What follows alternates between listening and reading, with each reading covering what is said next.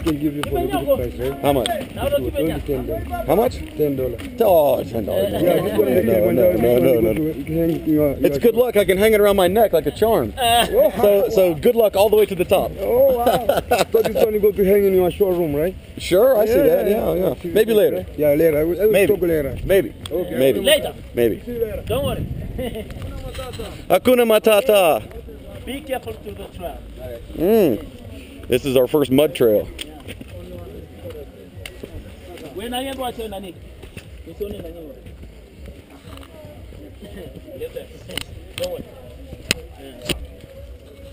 Doing good? Should have brought the trekking poles.